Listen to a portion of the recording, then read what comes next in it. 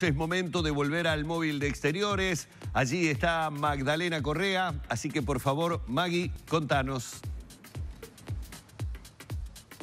Bueno, ustedes sabrán que desde hace ya algunas semanas los trabajadores de Necrópolis están trabajando para que se entienda a régimen. Esto ha generado atrasos, sobre todo en los entierros. Y ayer se generó una situación que se dio a conocer a través de redes con una niña que falleció en su domicilio y que, bueno, eh, hubo un atraso en el retiro de ese cuerpo. Estamos con la Secretaria General de ADEON para conocer de primera mano cuál es la situación real, qué está pasando. Eh, ahora consultándole decía que el único vehículo que transporta los cuerpos se deterioró, se rompió. Sí, yo creo que hay una necesidad enorme de aclarar cuál es la situación. Se han dicho muchas cosas, pero no se dice la verdad. Lo que sucede en el servicio fúnebre y necrópolis es una situación que tiene años. El servicio venía trabajando gracias a que los compañeros no limitaban su jornada de trabajo, se quedaban las horas que era necesario, trabajaban a veces nueve, diez días seguidos sin tener un día de descanso, eh, trabajaban los feriados no laborables, trabajaban este, todo lo que el servicio requería sin pensar en su salud y en su vida. Este, todo trabajador sabe su horario de trabajo, sabe qué día tiene libre, estos compañeros no.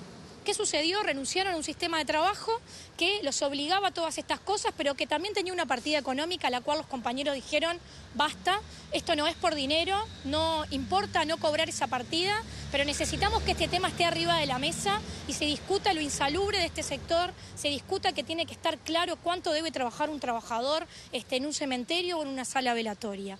Lo que está sucediendo hoy es simplemente que está quedando en evidencia que la gente que trabaja en este servicio no es la suficiente, no alcanzan los compañeros y compañeras este, en ninguno de los sectores, ninguno de los cementerios, ni ninguna de las salas velatorias. Y bueno, y lo que sucede con los vehículos, este, yo eh, lo decía cuando se rompió el último vehículo que teníamos, que hasta lo filmamos, se le rompió el alternador al vehículo, algo que habitualmente puede romperse. No hay otro.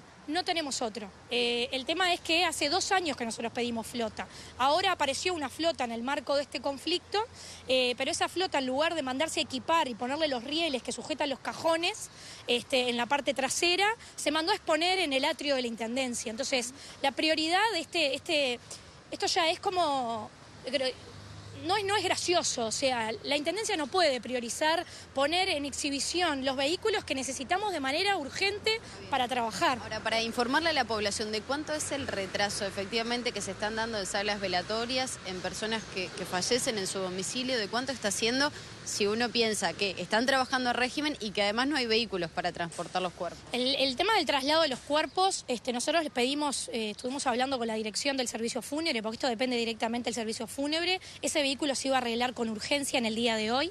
Eh, en el caso de, la niña que tú comentabas, nosotros el fin de semana estuvimos en contacto.